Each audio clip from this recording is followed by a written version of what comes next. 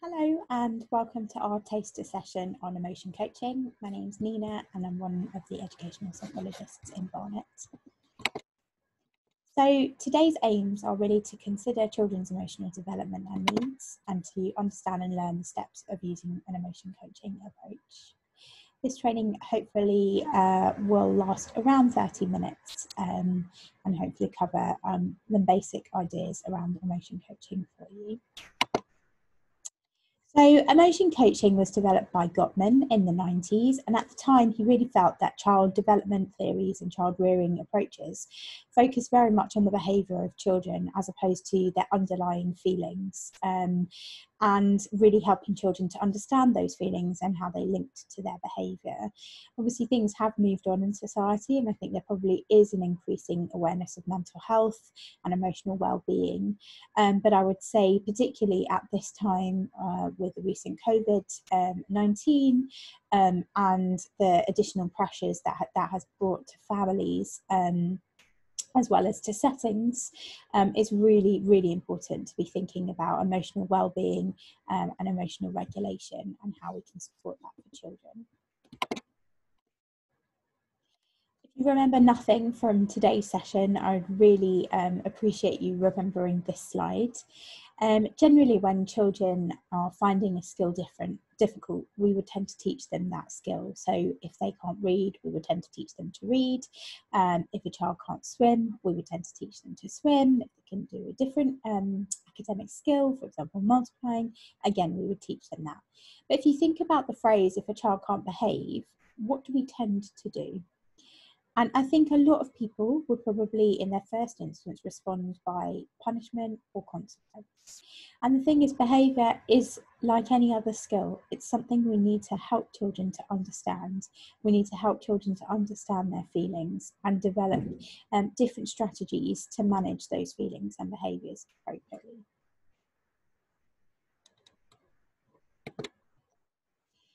Um, this approach is evidence based um, and it can be used as a way to preempt or to respond to uh, what appears to be challenging behaviour.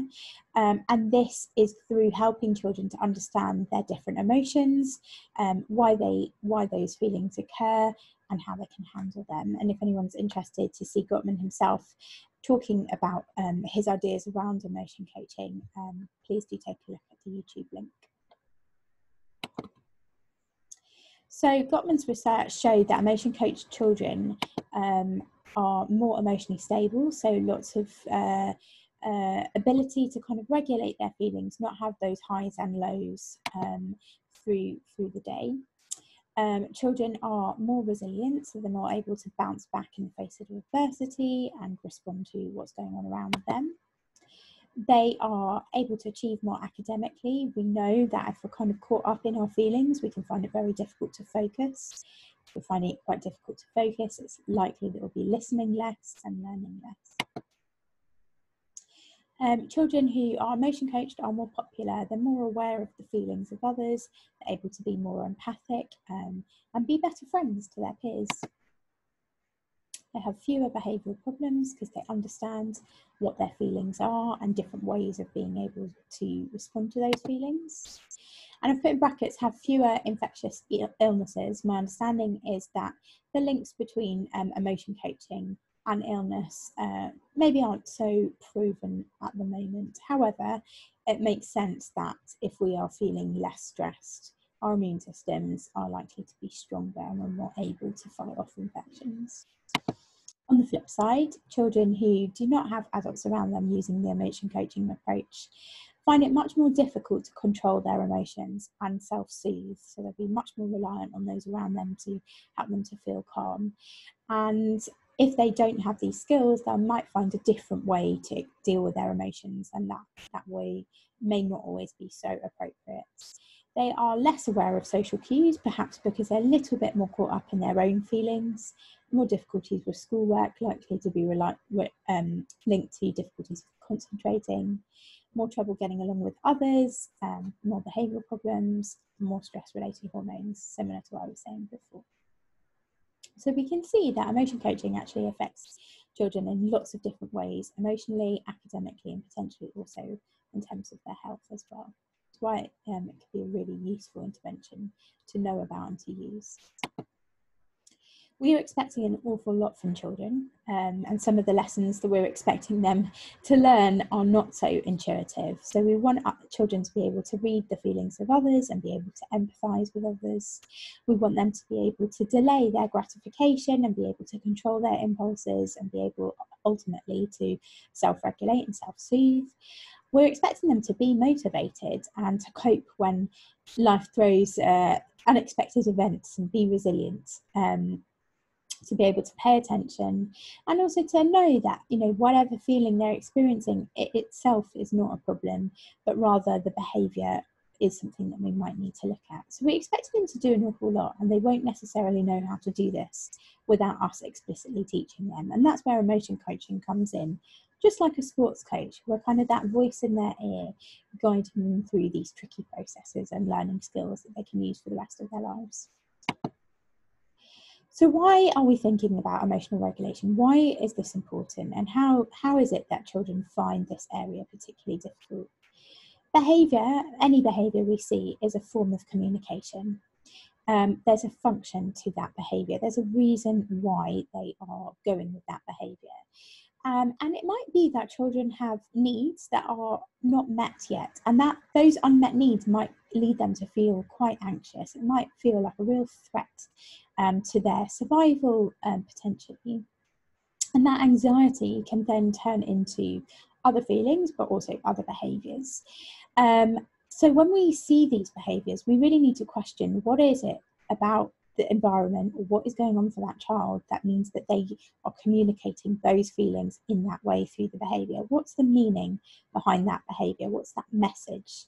Um, and often when we see that children are failing to behave appropriately it's that they're finding it very difficult to communicate those those feelings and those experiences appropriately um, sometimes children will pick behaviours um, and it will seem to us that they are incredibly challenging behaviours. Um, our ability to react to our feelings is based on our experiences and the resources and skills that we have. And children, if in the past have used behaviours that have worked for them, even if they're not appropriate or particularly um, socially uh, useful, they might opt for them if they have nothing better to, to rely on. So, really, what we need to do is give them more experiences of managing those feelings um, and more resources, more skills, um, so that they know how to respond in the future. I put as a reminder about the behaviour iceberg. So sometimes um, what we see is just the tip of the iceberg. The behaviour we see is the bit of the iceberg sticking up above the water, but underneath the water will be so much going on for children. So we might see anger at the top, but actually underneath is really fear. Um, it's uh, questions about their identity, perhaps where they're fitting in. It could be worries. Um, there could be so much going on below the surface um, for those children. So we really need to remember that what we see is not the only thing that is there and really help the children to unpick how they're feeling about themselves or a situation.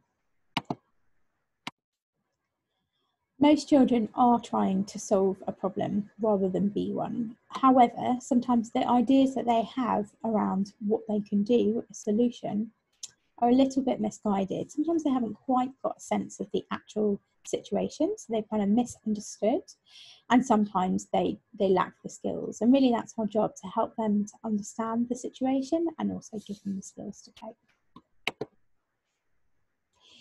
It's also to, uh, useful to remember our brain and our habits um, kind of follow whatever we've done a lot will be more likely we'll do again in the future. So if children, as I said before, have learnt um, perhaps adaptive ways to respond, but not necessarily helpful, uh, if they've worked in the past, they'll try them again. Um, but what I would say is that hope is not never lost. We can always teach children a new skill and if they experience success of using that skill and we encourage them to try it again next time, the more they use those new skills, the more likely they are to become habit, and the more likely the brain is also going to form new neural pathways that will support them to make those choices in the future as well. So it's never too late to help a child go along that path, pick a new path, um, and learn new strategies and approaches. And if you kind of want a bit more of the technicality about kind of how that is working, we all have memories of day to day interactions in our life.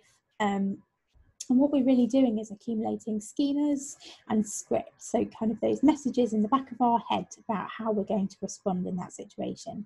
And these will guide us and guide our actions. And based on our experiences of those of those interactions or um, our responses to that environment, if they worked well, that will go into our memory bank and become the next guiding action for us when that situation arises again. So that's why it's called emotion coaching. We're not doing it for them, we're giving them those scripts and those schemas. So eventually, children will be able to manage their feelings by themselves. They won't need the coach right by them, sort of whispering in their ear and guiding them along. It's useful at this point to to kind of explore why discipline um, won't work for some children. So, discipline re- relies on the pattern of there being impulses, ideas to do something, a thought about whether that's a sensible idea to go ahead with that impulse, and then the action. So, the idea being if you change the thought, the middle bit about whether the impulse is a good thing to do or not, um, through maybe a consequence or a punishment, then the behaviour will change. However, for some young people, there is no thought. They never developed that gap between the impulse that they had and their action because that thought process is reliant on a caregiver being really attuned to them when they're young and giving them feedback on, on their choices. So, you know, when a child is crawling along and they look back at you to see if whether they should keep crawling, And if you smile, they, they keep going, and if you scowl at them, they might pause and come back to you if there isn't an adult in their lives that is giving them that feedback on a multitude of different situations, they never learn to know whether to go for something or not. So they just go for it because there's no one guiding them. And therefore, there'll be no thought for them to change. So discipline won't work for them, which is why we need this emotional coaching approach. Not that it won't work for children who've had that as well um, in their lives. And really, what we're trying to do is move from this reliance on external regulation through sanctions and rewards to more of a sense of internal regulation and using an emotion coaching approach. So, those voices in our head, those kind of schemas and scripts that guide us in the future.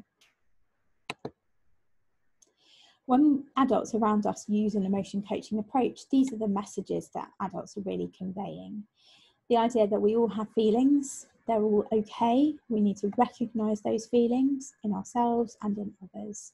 The idea that, you know, it's not just experiencing those feelings in that situation, we're not alone. We're accepted, we're validated, we're supported, we're respected, we're understood. It's incredibly powerful to have someone in your life feel that they can give you the level of support where you feel understood means you, you don't feel isolated and alone. And this idea of empowerment, that even if we have these big feelings, it's okay because we feel strong enough um, and safe enough to be able to problem solve and think about what we can do to solve those big feelings.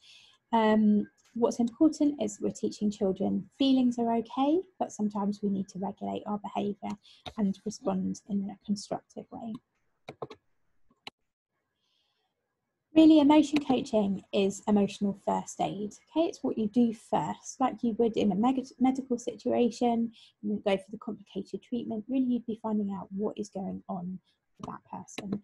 Um, and the idea is that we, the first bit is really just empathizing, being with that child and really understanding where they're at rather than jumping to solutions. Because if we jump to solutions, we've got no firm basis really upon which to understand them and what's going on for them. So the idea is that we almost create like this power base, um, create, create a safe haven, a sense of trust, sense of respect, acceptance. Children feel strong enough and feel safe enough to be able to explore some big feelings that they might be finding really difficult. And really, the idea is that we want to connect with children before we correct them and build that rapport before we reason with them. And once we have that relationship with them, we're able to really guide them along the journey of them helping helping them to understand their feelings and how to regulate their feelings.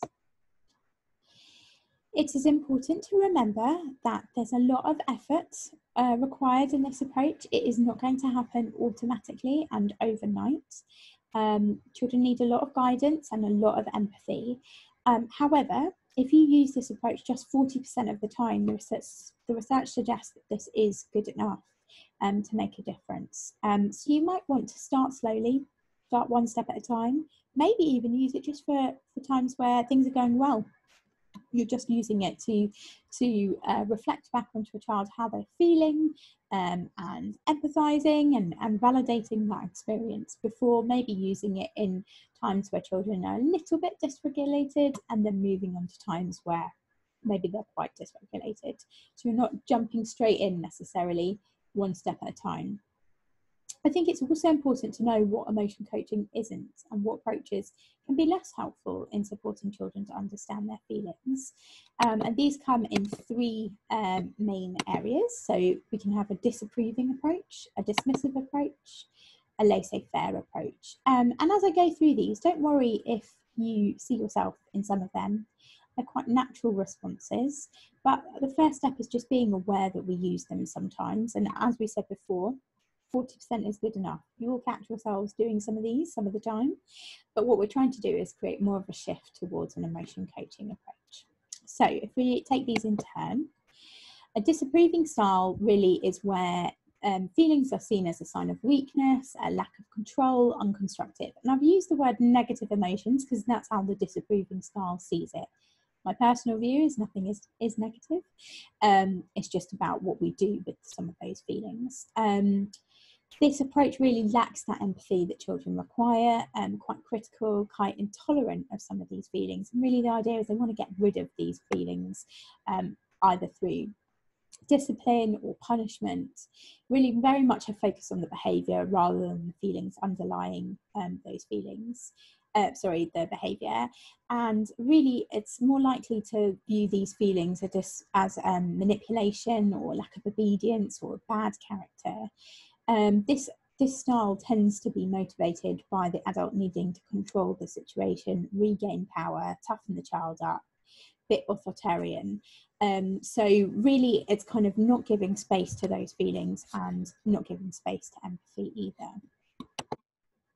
The dismissive style, um, slightly different stance, um, good intentions here, you know want to make the child feel good still uncomfortable with those negative emotions. Uh, they're being viewed as something toxic maybe something you need to get rid of um, and maybe through logic or distraction rather than really understanding what's going on for the child.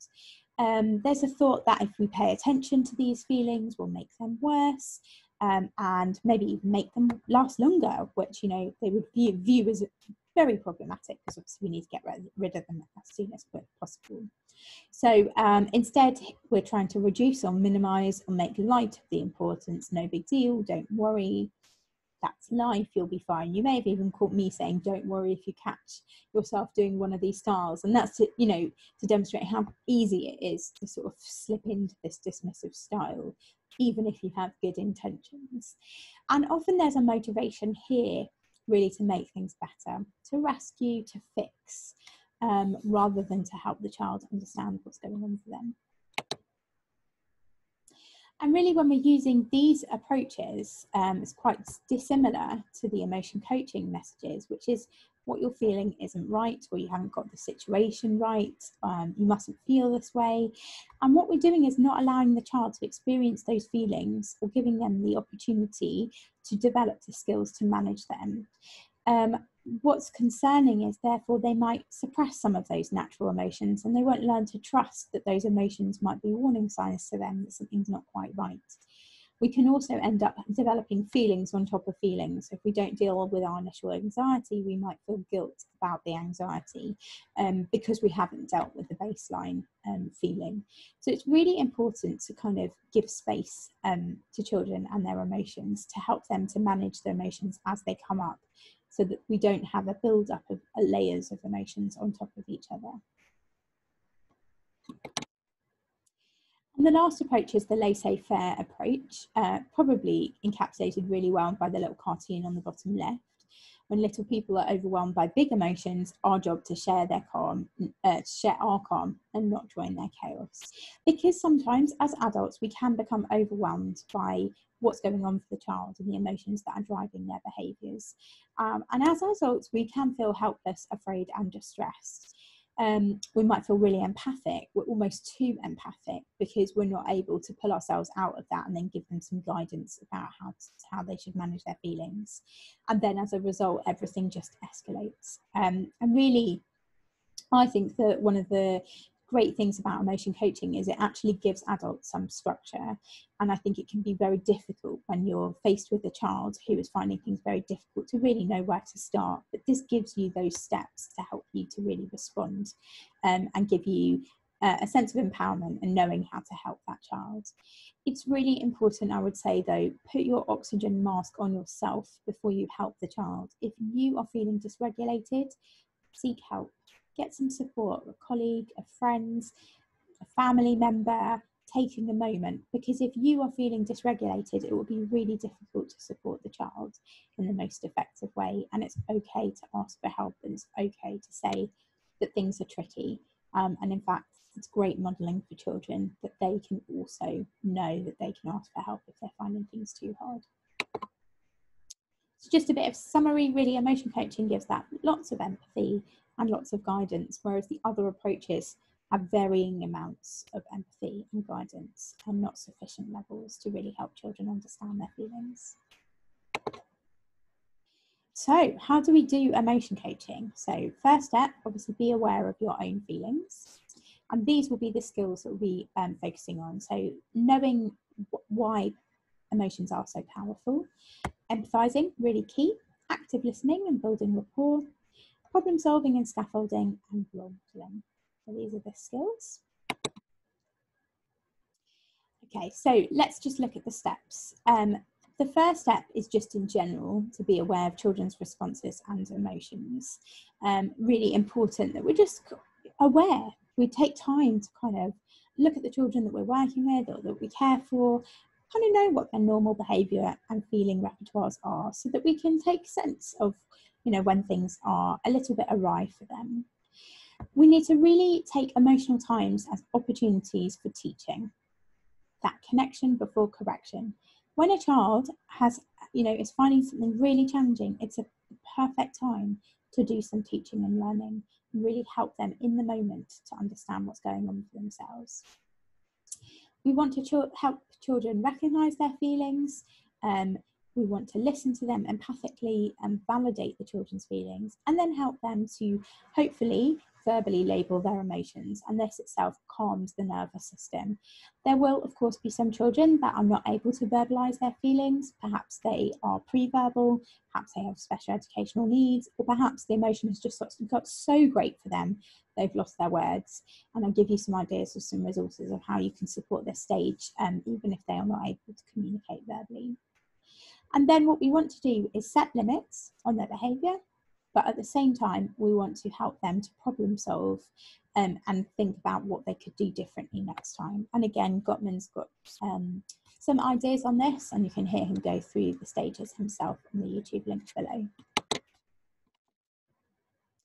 just found this on the internet from the Gottman Institute. I really liked it as a quick summary. Um, might be something that you put up at home. It could be something you put up in your setting. Maybe you want to cut up each of the steps and put them on a lanyard so that you can you've got them right there if you need them. Um, but I, I liked it because ultimately we are helping children to grow through this. We are watering them through emotion coaching so that they have the skills to go strong in their life and weather whatever storms or um, experiences they experience um, when they're a bit older.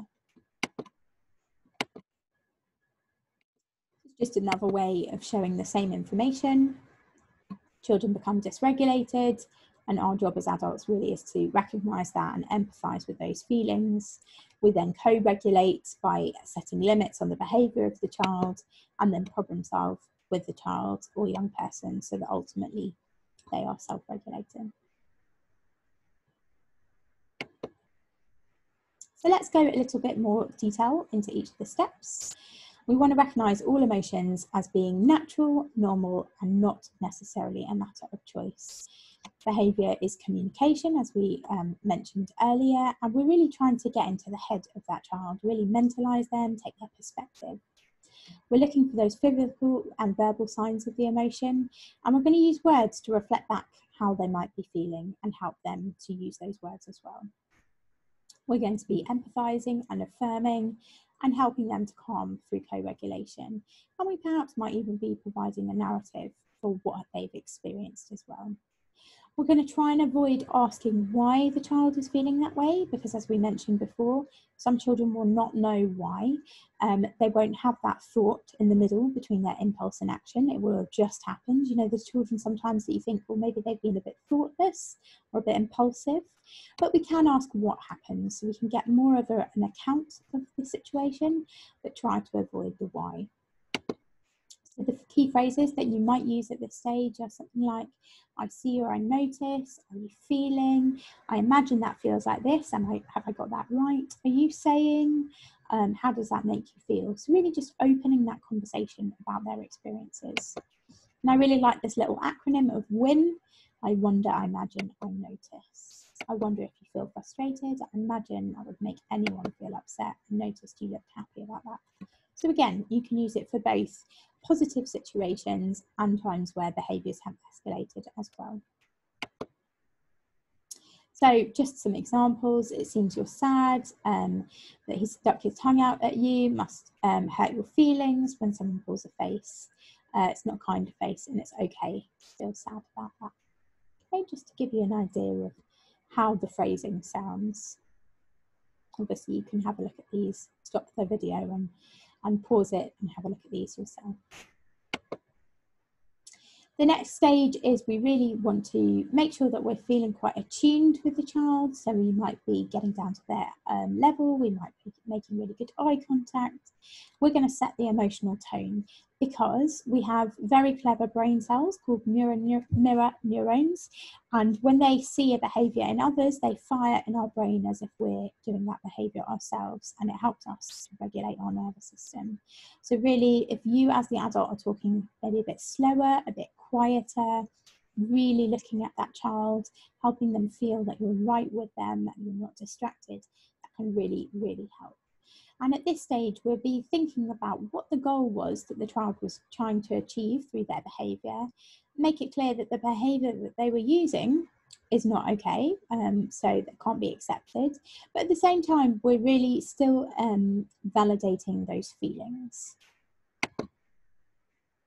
So, for example, it might it's really important in our family we have kind hands with each other with our things. It's not okay to hit people or break or throw things when we're sad. There's still the acknowledgement that we're sad, it's just not okay to express it like that. The kind of key phrases it's okay to feel this feeling, it's not okay to do this action. And when the child's calm, then we're going to be thinking about alternative ideas and approaches that they could use next time. What I would say is really important if you can, don't jump in, don't give them the strategies, see what they come up with. If they come up with something that you think might be unworkable, as long as it's safe, it's fine. That's all part of learning that we make mistakes, we give something a go and we try again next time. Some children will not be able to come up with strategies. They might be quite new to this, they might be quite young. Again, they might have difficulties expressing themselves, and you might give them some options. You could say, next time you could try this, or you could try this.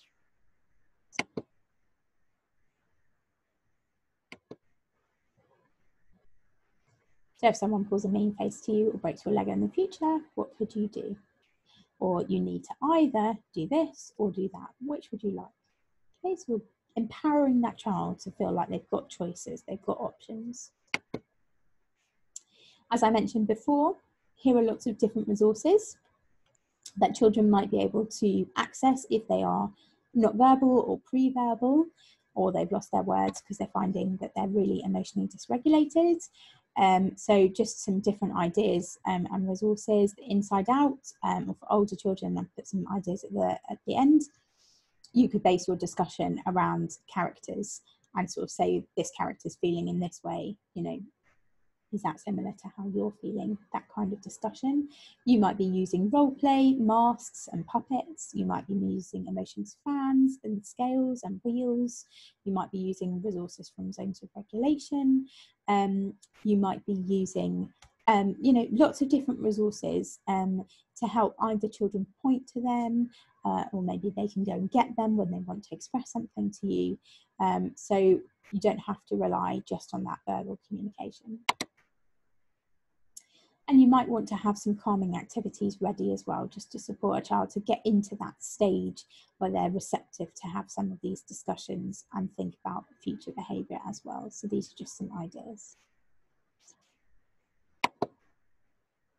There's an excellent book that has a lot of these emotion coaching ideas, um, How to Talk So Kids Will Listen and How to Listen So Kids Will Talk by Faber and Mazlish.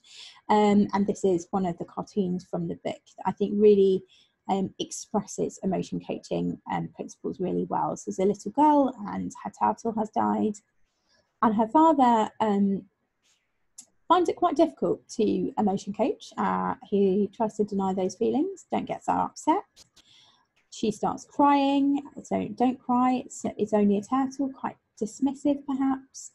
Um, says, stop that. I'll buy another turtle. So really finding it difficult to manage her crying. Um, and then finding her quite unreasonable. And they sort of end up quite apart in this. So there's that opportunity for building rapport and connection has sort of been lost in the way that the father has responded. However, if we take the same scenario he's right there. Oh no, what a shock. Really thinking about how she might be feeling about the loss of a turtle, which might seem insignificant to him, but really putting himself in the head um, and experiences of that child. And you know, if you're finding it difficult to empathise with, you know, a child whose brick Lego brick has been taken, just imagine if it was your piece of chocolate. You know, how possessive you would feel and how difficult you might find that to manage. And that's really what we need to do be right there in that moment with that child. So she says, I taught him to do tricks. You two had fun together. So we're calling those memories as shared experience. He was my friend. Losing a friend can hurt. So he's really showing that he's listening to her. He's looking at her. He's right at her level. You really cared about that turtle. I fed him every day. So he's really taken that opportunity to form that connection with her and as a result, they kind of let lead um, lead to an ending to this little scenario, feeling more close, even though obviously the child has experienced a loss. So, really, just to summarize, emotion coaching is about talking to children about emotions, helping them to label and express their feelings, respecting and accepting where the child's at, discussing the situations that led to that, and having goals and strategies to cope in the future. It's about teaching children in that moment, giving them strategies, accepting all of those feelings, um, and building those trusting and respectful relationships from which you can build and develop an awful lot more If anyone's interested in further training or workshops that we can tailor to your setting, your cohorts, please do contact your Link Educational Psychologists and they will be able to um, discuss that with you. Um, also, emotioncoachinguk.com is a great website for some further ideas and resources as well. Um, just uh, a few books that um, participants previously have shared um, we thought would be really helpful for you to know about. Um, so these can be really um, supportive in helping children to express themselves and start off those conversations. Um, so obviously you can pause the video for yourselves and have a look at these if you would like to. Thank you very much for joining us today. And don't forget that you are your best resource. You've got all the skills that you need to support children with their emotional regulation. So lots of love.